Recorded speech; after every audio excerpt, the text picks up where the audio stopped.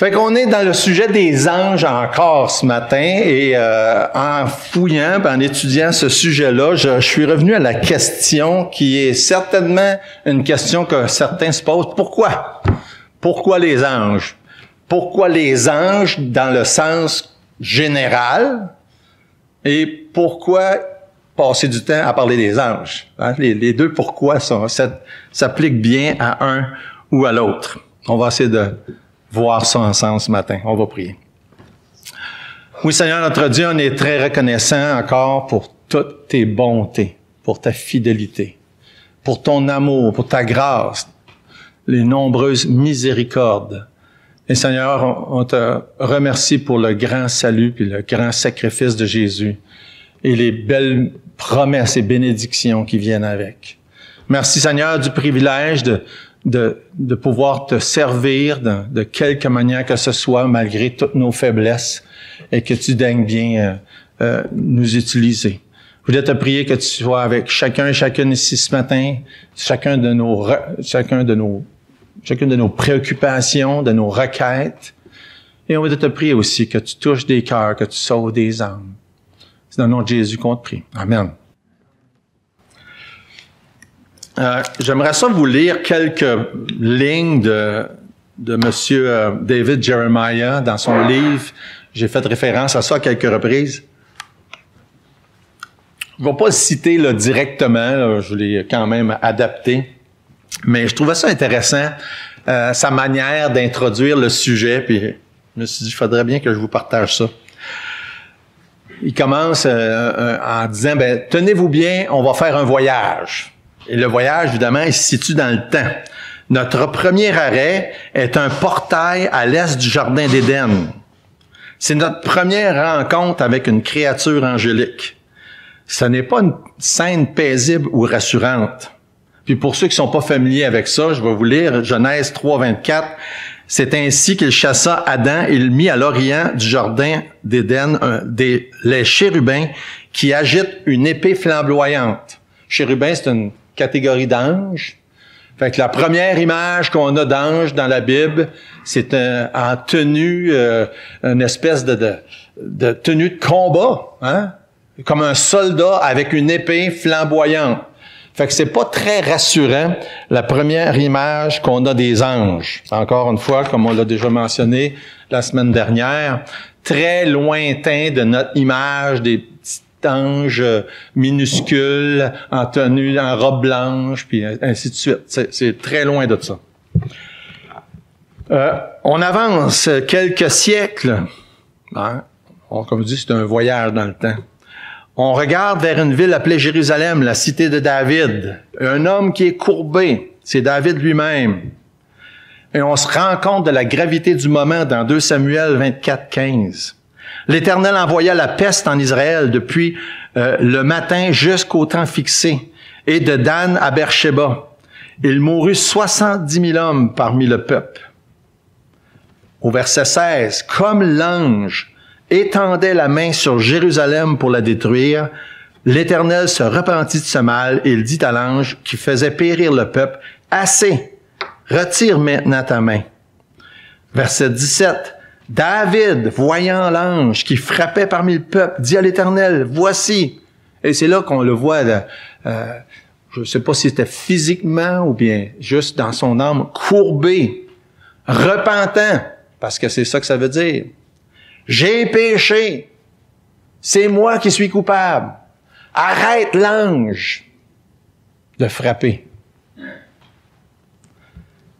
Imaginez des, ce qu'on voit euh, euh, qu'est-ce que ça pouvait avoir l'air et la, quantité de personnes que les anges ont dû tuer. C'est, c'est, c'est, c'est grave quand on pense à ça. On continue, on se retrouve dans une autre époque différente, dans un autre endroit.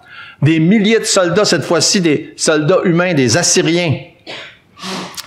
Et tout à coup, on le voit, deux Rois chapitre 19 verset 35, cette nuit-là, l'ange de l'Éternel sortit et frappant dans le camp des Assyriens 185 000 hommes.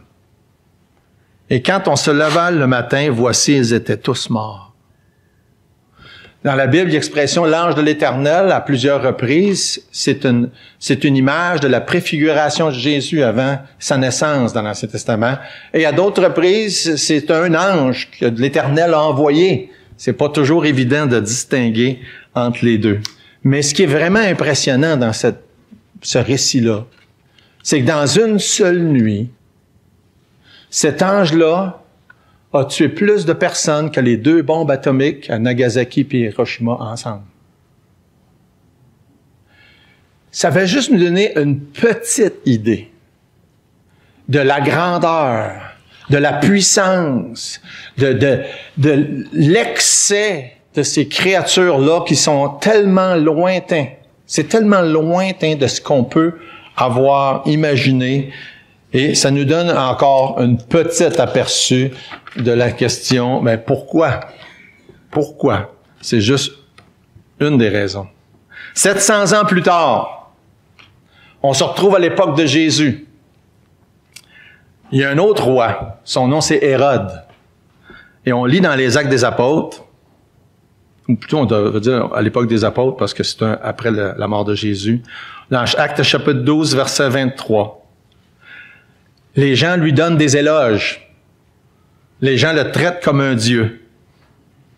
Ça dit au même instant, un ange du Seigneur le frappa parce qu'il n'avait pas donné gloire à Dieu et il expira rongé par les vers. C'est impressionnant de voir tous ces, ces événements-là tellement tragiques et dramatiques dans la parole de Dieu où il y a des anges qui sont impliqués. Quelques 2000 ans plus tard, on se trouve dans le livre de l'Apocalypse. Et Luc en avait lu un, bout la semaine dernière. Les anges sont impliqués dans tellement de choses dans l'Apocalypse. Dans des belles et évidemment dans d'autres qui sont plus tragiques. Comme par exemple euh, euh, les deux premiers, les chapitres 2 et 3. Hein, ça dit euh, la lettre est adressée à l'ange de l'Église, puis à l'ange de l'Église, à titre d'exemple. Ensuite, au chapitre 12, on voit une, guerre dans le ciel.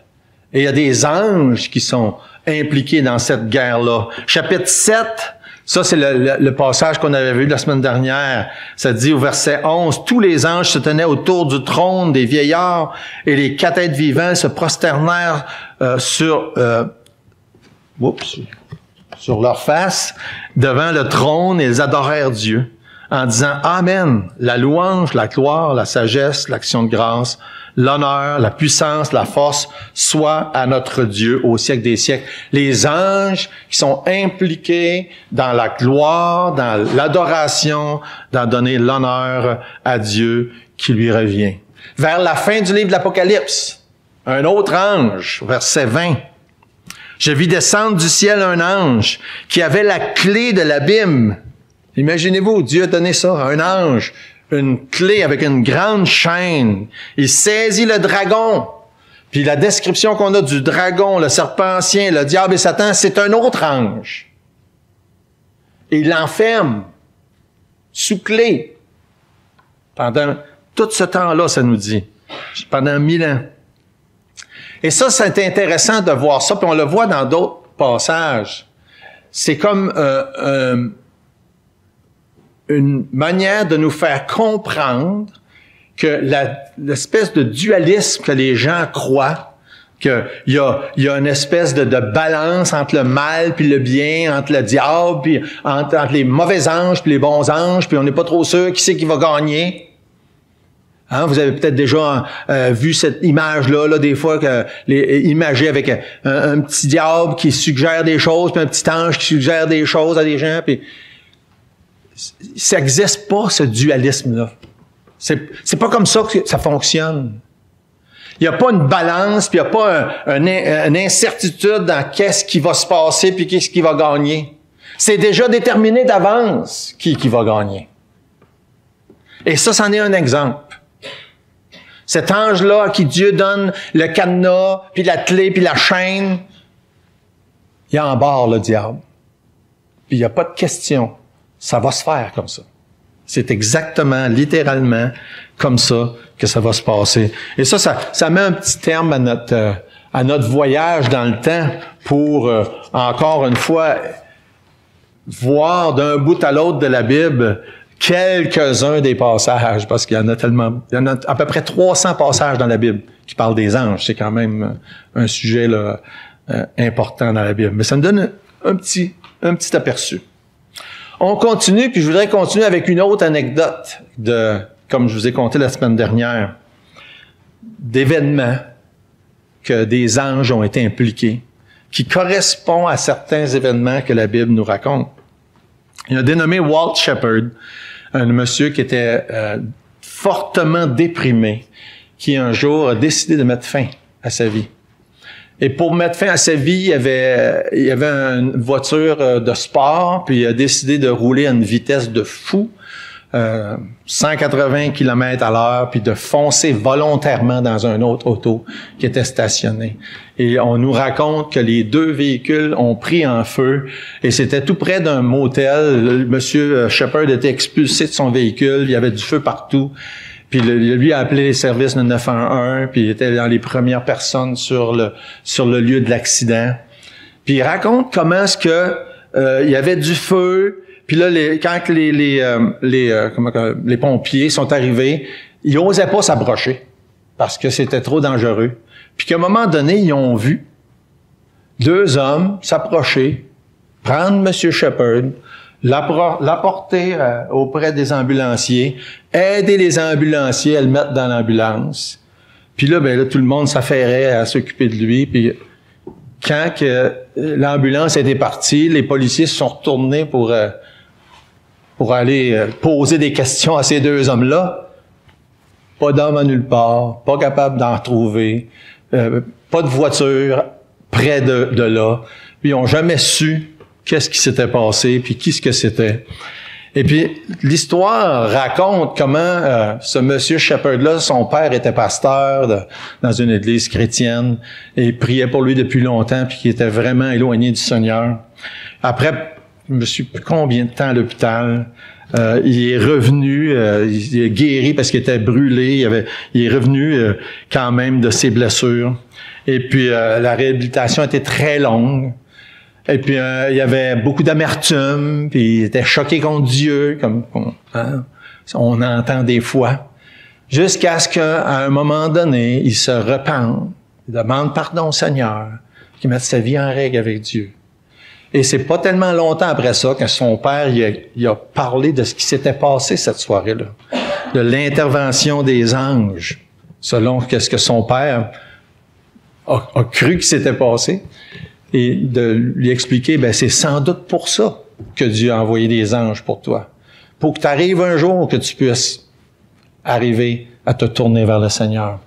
Maintenant, vous entendez une histoire comme ça, puis moi je l'entends, puis on est peut-être sceptique, hein? on peut pas vérifier l'histoire, mais on sait une chose, ça concorde avec quelques-unes des choses qu'on lit dans la parole de Dieu. Moi, la, première chose qui me vient à l'esprit quand je dis ça, c'est Daniel chapitre 3. Hein? Si vous connaissez l'histoire de Daniel chapitre 3, vous pouvez regarder avec moi dans Daniel chapitre 3. Verset 1, le roi Nebuchadnezzar fit une statue d'or haute de 60 coudées, c'est à peu près 100 pieds, large de 6 coudées. Il la dressa dans la vallée de Dura, dans la province de Babylone. Le roi Nebuchadnezzar fit convoquer les satrapes, les intendants, les gouverneurs, les grands juges, les trésoriers, et ainsi de suite. Et puis là, il leur a dit, il va falloir que vous allez devoir, euh, lorsque la statue va être faite, euh, verset 4, un héros cria à haute voix, voici ce qu'on ordonne, peuple, nation, homme de toute langue. Au moment où vous entendrez le son de la trompette, du chalumeau, de la guitare, de la sambuc, du psalterion, de la cornemuse et de toutes sortes d'instruments de musique, il y en avait beaucoup, hein? Vous vous prosternerez et vous adorerez la statue d'or qu'a élevée le roi Nebuchadnezzar. Maintenant, l'histoire nous raconte que les trois compagnons de Daniel, Shadrach, Meshach et Abednego, avait pas du tout l'intention d'obéir à ça, ce qui est tout à fait correct d'ailleurs. Et puis, si on va un petit peu plus loin, au verset 16, Shadrach, Meshach et Abednego répliquèrent au roi Nebuchadnezzar, nous n'avons pas besoin de te répondre là-dessus, hein, parce qu'il fait, s'était fait reprendre pour ne pas avoir adoré la statue.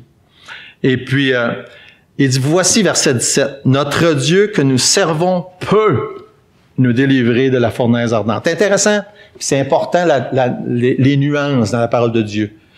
Ils n'ont pas dit Dieu va nous délivrer. Pas de prétention. Mais Dieu peut nous délivrer. Et ça, c'est intéressant, c'est important. Parce que c'est la même chose pour nous aujourd'hui. Dieu peut nous délivrer. Ça ne veut pas dire qu'il va le faire à chaque fois qu'on va lui demander, mais il peut le faire. Puis dans certains cas, il choisit de le faire. Et on en a un exemple. Quand tout à coup, après avoir, même les, ça nous dit que les gardes qu'ils ont amenés à la fournaise, le feu était tellement fort que ça les a tués. Mais tout à coup, le roi dit, il n'y avait pas trois personnes dans le feu. Puis tout d'un coup, il envoie un quatrième. Il y avait un ange avec eux dans le feu. Et d'une manière surnaturelle, ils ont été protégés, délivrés, empêchés de brûler. Et puis, ils s'en sont, sortis indemnes. Et moi, c'était suite à cette histoire-là que j'ai pensé en lisant l'histoire de ce monsieur-là qui avait eu euh, son accident. La Bible nous dit pas que des, excusez, la Bible ne, la Bible ne nous dit pas que Dieu va envoyer des anges pour nous délivrer à chaque fois qu'on en a besoin. Mais la Bible est claire que Dieu pourrait le faire. Puis Dieu le fait. Puis Dieu l'a fait dans certains cas. Et encore une fois, c'est selon sa souveraineté que Dieu décide de faire ça. Maintenant, la Bible ne nous donne pas aucune indication que euh, des, des anges, on doit prier des anges, puis qui, qui vont répondre à nos prières, comme malheureusement beaucoup de gens font. Euh, D'ailleurs, il y a, très peu d'occasions. Euh, si vous regardez par exemple quand Jésus a été tenté, le, le diable l'incite à faire ça, hein, à lui demander de l'aide. Il dit demande-moi puis je vais te donner. C'est à peu près une des seules fois dans la Bible, je pense que c'est la seule, où on a euh, ce genre d'incitation-là à demander quelque chose à des anges. Mais là, dans ce cas-là, ce n'est un mauvais. Et c'est intéressant que dans le même passage, le diable il cite la Bible. Ça, c'est un autre élément à se souvenir dans notre combat de la vie chrétienne. C'est pas juste les enfants de Dieu, puis c'est pas juste les bonnes personnes qui citent la Bible. Puis ils peuvent la citer, la Bible, la citer de travers pour leur propre utilisation, on le sait très bien, mais c'est important de se le rappeler. Le diable le fait de temps en temps. Ça dit dans, euh, il cite le psaume 91, car il ordonnera à ses anges de te garder dans toutes tes voies, ils te porteront sur les mains, de peur que ton pied ne heurte contre une pierre. Et il a effectivement cité ce passage-là, mais il n'a pas, pas utilisé de la bonne manière. Il voulait avoir le rôle principal. Il voulait être, lui, adoré. Et ce qui est important quand on répond à la question pourquoi les anges, pourquoi est-ce que c'est un sujet si vaste dans la Bible? Pourquoi qu'on en a 300 euh, passages? Pourquoi on les voit de toutes sortes de manières? Pourquoi ils ont un rôle aussi important dans certaines situations? Mais de l'autre côté, on a aussi la réponse au pourquoi ils n'ont pas un rôle principal. Parce qu'ils n'ont pas un rôle principal, toujours un rôle secondaire. Et ça fait partie de leur raison d'être parce que le mot ange lui-même veut dire messager. Hein? Ça, veut dire ça en hébreu dans l'Ancien Testament, ça veut dire ça en grec dans le Nouveau Testament. C'est ça que ça veut dire. C'est un messager, un porteur d'un message. Des fois, le message est verbal. Hein? Dans plusieurs cas. C'était le cas avec les bergers quand Jésus est venu au monde. Des fois, c'est un message euh, où est-ce qu'ils font quelque chose, comme un jugement, par exemple. Des fois, le message, c'est une délivrance aussi. Fait qu'on voit plusieurs sortes de message. Mais l'attention est pas sur le messager, l'attention est sur le message. Les anges en tant que tels, on, en parle, on l'étudie, la Bible en parle, mais ce ne sont pas eux qui doivent avoir, euh, le, doivent être le centre d'attention. Je pense qu'il y a une belle comparaison avec ça. Euh, c'est comme le ciel. Hein? Le ciel, euh, on parle du ciel, Hein, a des chansons sur le ciel. Moi, je me rappellerai toujours la chanson quand j'étais jeune. Tout le monde veut aller au ciel, puis personne ne veut mourir. Je suis sûr que vous avez déjà entendu ça. Hein? Le ciel, c'est comme, c'est comme le, lieu ultime. Mais c'est pas vrai. C'est pas le ciel, le lieu ultime. C'est juste un lieu. Qu'est-ce qui fait du ciel que ça soit une place si extraordinaire? c'est là où Dieu va être. C'est là où on va être, avec qui qu'on va être. C'est ça la différence. C'est pas le ciel. C'est le fait que c'est la place de Dieu. Puis ça, ça me fait penser à le, beau psaume 73 qui est tellement... J'espère que vous, prenez le temps. Moi, c'est un psaume que j'aime beaucoup retourner. Le psaume 73 où c'est un peu... Euh, c'est un peu un genre de... C'est philosophique, hein, le psaume 73. C'est une réflexion c'est comme si euh, Azaf est en train de penser là, à voix haute. Puis il pense de manière que des fois, nous autres, on pense. On, regarde, du coup, donc, là. Hey, sont bien le monde, hein? Sont-tu bien, hein? Ça a fait la grosse vie, ça se lève pas le dimanche matin. Hein? Non, non, mais c'est ça qu'Azaf est en train de faire dans le psaume 73. Puis à un moment donné, il nous raconte comment est-ce qu'il rentre en lui-même, puis là, il, a dit, ouais, en réalité, je devrais pas les regarder de même. Il dit, quand que je, quand que je pense à qu'est-ce qui, s'en vient pour eux autres, il parle du sort final des méchants.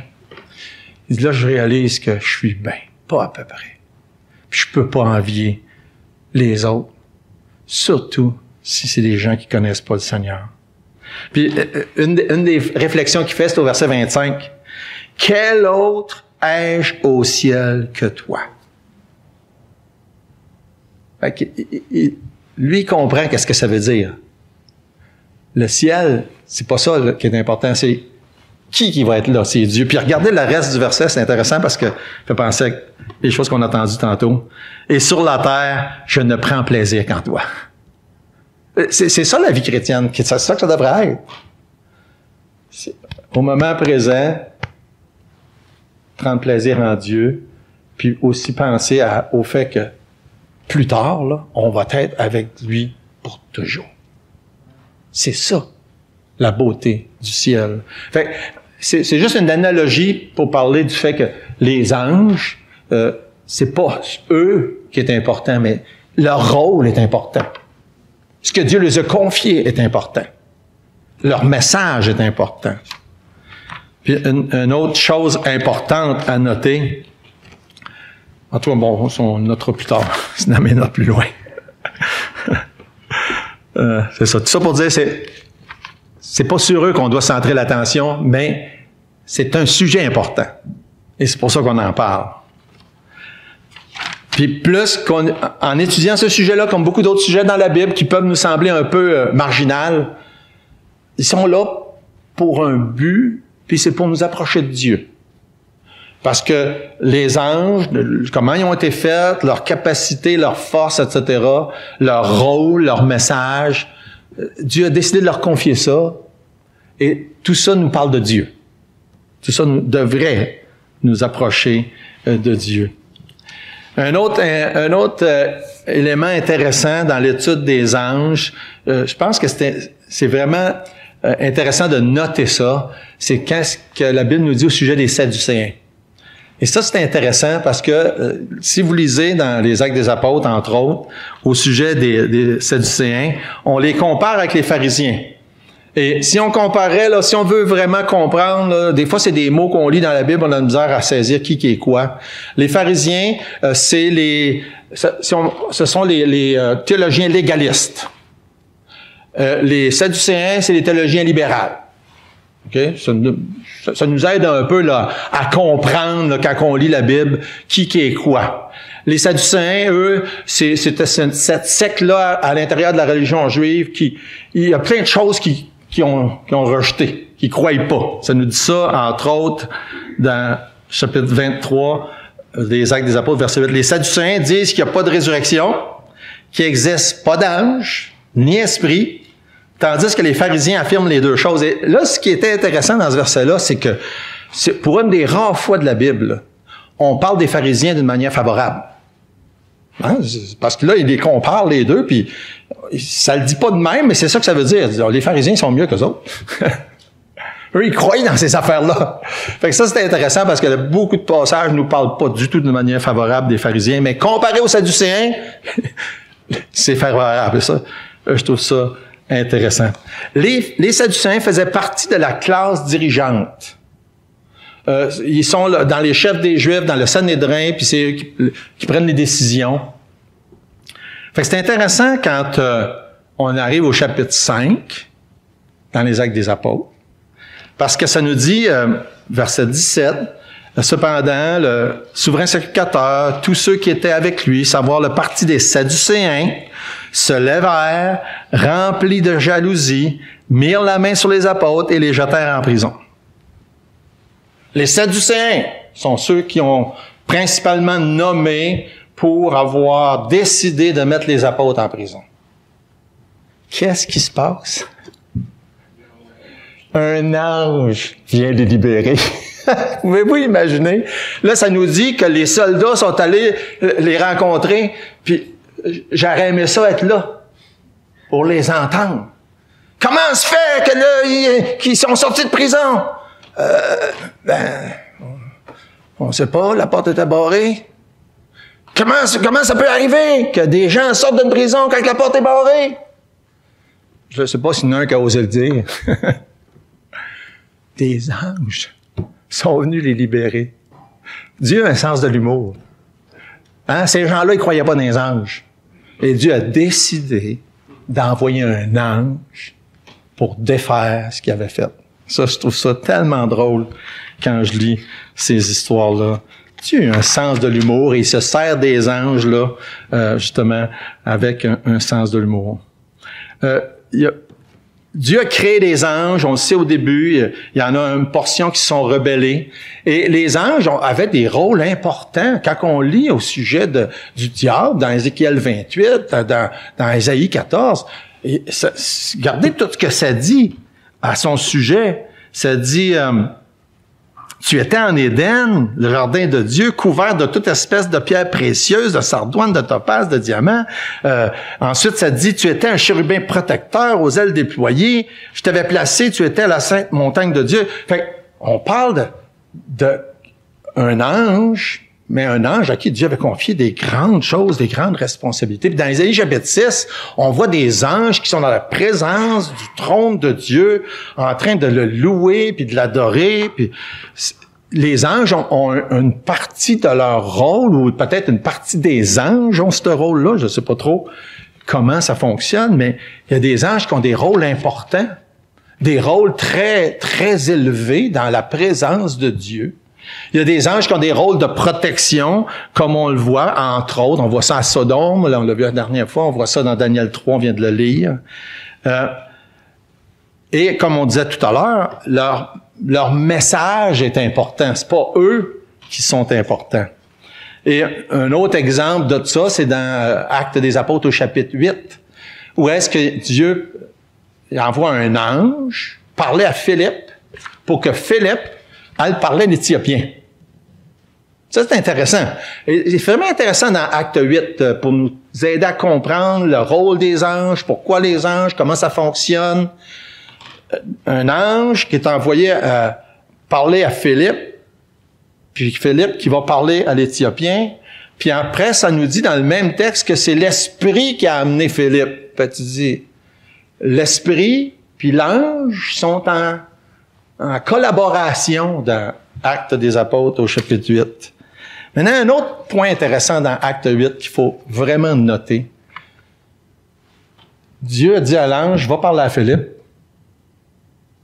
Il n'a pas dit à l'ange, va parler à l'Éthiopien. C'est important, ça. Pourquoi c'est important? Dieu n'a pas confié l'Évangile aux anges. C'est à vous autres, c'est à moi que Dieu l'a confié. C'est nous autres qui doit aller parler aux autres. Dieu va parler aux siens par des anges des fois, comme là, mais c'est pas les anges qui annoncent l'Évangile. Parce que l'Évangile, c'est témoigner, hein? D'être des témoins. Les témoins, faut, faut que tu connaisses, faut que tu saches, faut, euh, en réalité, faut que tu l'expérimenter. Pour ce qui concerne l'Évangile, pour pouvoir être un témoin tel que la Bible l'enseigne. Maintenant, c'est intéressant parce que il y a l'esprit qui est en collaboration avec les anges. On voit le Père qui, se sert des anges. On voit Jésus qui se sert des anges. D'ailleurs, Jésus en parle dans Matthieu chapitre 26. Il dit, euh, c'est intéressant ce qu'il dit, verset 53, Penses-tu que je ne puisse pas invoquer mon Père qui me donnerait à l'instant plus de douze légions, légions d'anges? Jésus sait qu'il y aurait à sa disponibilité euh, des anges à n'importe quel moment, parce que, comme il dit si bien, tout pouvoir lui a été donné. Fait on voit, les anges ont un rôle, puis ils peuvent faire des grandes choses, mais ils sont soumis à l'autorité du Père, du Fils et du Saint-Esprit. Je termine avec ceci. Pourquoi les anges, puis pourquoi on parle des anges, puis pourquoi c'est important d'en parler, même si c'est pas eux qui sont importants? Ben, une des raisons, il y en a plusieurs, on en a vu déjà plusieurs, c'est dans 1 Timothée chapitre 4 et versets 1 et 2. Où est-ce que ça nous dit? Mais l'Esprit dit expressément que dans les derniers temps, quelques-uns abandonneront la foi pour s'attacher à des esprits de séducteurs, à des doctrines de démons qui sont les mauvais anges, par l'hypocrisie de faux, des faux docteurs portant la marque de la flétrissure dans leur propre conscience, etc., etc. On n'ira pas tout le reste. Dieu dit dans les derniers temps, il va avoir une œuvre encore plus marquante des mauvais anges. Plus qu'on approche la fin des temps, plus qu'il va y avoir une activité. Ce que ça veut dire, c'est ça. Plus qu'on approche la fin des temps, plus que l'activité démoniaque va être présente. Est-ce qu'on se, s'étonne de lire ça dans la Bible? Ben, pas si on regarde autour de nous autres. On est conscient que c'est de plus en plus le mal qui domine dans le monde. Et il faut pas se surprendre que ça va aller de plus en plus mal à mesure qu'on approche dans la fin des temps. Et il faut pas surprendre qu'il y a une activité des mauvais anges de plus en plus grande. Maintenant, on peut s'attendre en même temps, puis je crois que c'est tout à fait légitime, que Dieu va permettre qu'il y ait une activité encore plus grande des bons anges pour compenser. Mais on ne sait pas. Mais une chose est sûre, on a besoin de comprendre ces choses-là. Puis dans les prochaines études, on va parler un peu plus des mauvais anges, justement, et de, de mise en garde, de faire attention, qui se manifestent de toutes sortes de manières, et qu'on soit alerte. Il y a des gens, même dans certains milieux chrétiens, qui se, se sont fait enseigner des choses, qui laissent la porte ouverte aux activités démoniaques. C'est dangereux. Il faut faire attention faut pas se laisser leurrer. Le diable, une de ses spécialités, c'est le mensonge et le déguisement. Hein? Et ça, on est conscient que du mensonge, il y en a hein, tout autour de nous. Et ces déguisements sont nombreux. Mais en attendant, Dieu a fait des créatures qui sont exceptionnelles, qui s'appellent les anges, et c'est pas ça qui nous impressionne, mais c'est Dieu, le Créateur. Qu'est-ce qu'il a fait? Comment il a fait ces, ces grandes créatures-là, si puissantes, avec des tâches puis des responsabilités qui dépassent euh, notre imagination. Et Dieu nous a confié. Il leur a pas confié à eux la tâche, la responsabilité de partager l'Évangile. Dieu aurait pu faire ça. Hein? Les anges sont capables de faire ci, allez, allez, annoncer l'Évangile. Non. Il nous a confié cette tâche-là. Et c'est important de l'accomplir. Prions. Notre Dieu, merci. Merci pour tout ce que tu fais, tout ce que tu as fait pour ta belle parole. Bénis, Seigneur, ces vérités-là dans nos cœurs. Et Seigneur, ma prière aujourd'hui, c'est que ça nous approche de toi davantage, de qui tu es, de comment tu es et de tout ce que tu nous dis qui va se passer dans les jours, les années à venir et l'éternité. Au nom de Jésus. Amen.